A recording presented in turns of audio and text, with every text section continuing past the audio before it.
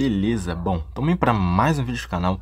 Nesse vídeo eu estarei para vocês aí um vídeo Antutu, do Antutu Benchmark é, a respeito do Galaxy S21 versão 5G, né? Só tem essa versão, mas é o 21 5G, não é o 21 FE, beleza?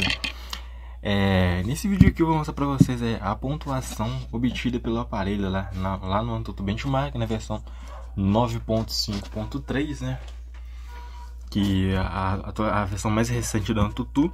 Isso a gente estando aqui no aparelho com Android 13 e o One UI 5, né? 5.0. Vou mostrar para vocês o resultado desse aparelho, beleza?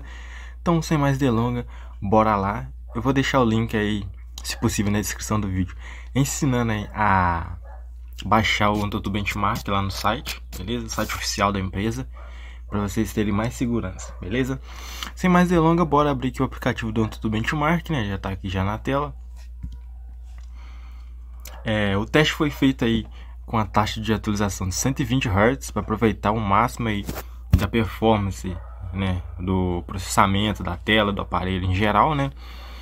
Não foi feito em 60 Hz. É, a gente obteve aqui uma pontuação de 652.721 é, vamos colocar aqui para ver os detalhes, né? Ele fez aí de CPU 176.387 pontos e de GPU ele fez 254.995 pontos. De memória, né, que é leitura, gravação, né, velocidade em geral, fez 119.147 pontos e o X ele fez aí 102.192. Ou seja, uma pontuação muito boa que, seu, que esse aparelho obteve, né? Que agora atualmente é o nosso aparelho principal do canal, é o S21 5G. O secundário que a gente de vez em quando pega para gravar vídeo para vocês aí vai ser o Redmi Note 9S. Que a gente vai trazer em breve mais vídeos dele aí, já tem até do Antutu também. Beleza?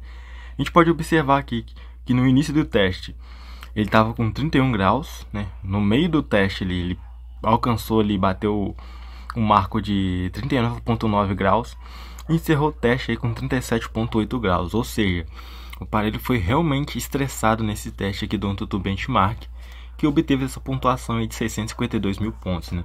Uma pontuação muito boa, né? Que está próxima ali do, do Snapdragon 870, um pouco próximo ali do 888, né?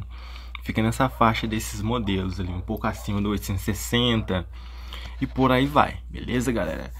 Então é isso aí. Qualquer dúvida que você, vocês tiverem a respeito desse aparelho que eu possa estar respondendo, deixe para gente nos comentários. E é claro, a gente vai trazer vídeo para vocês aí falando dele e do Redmi Note 9S, se vale a pena comprar para 2023, beleza?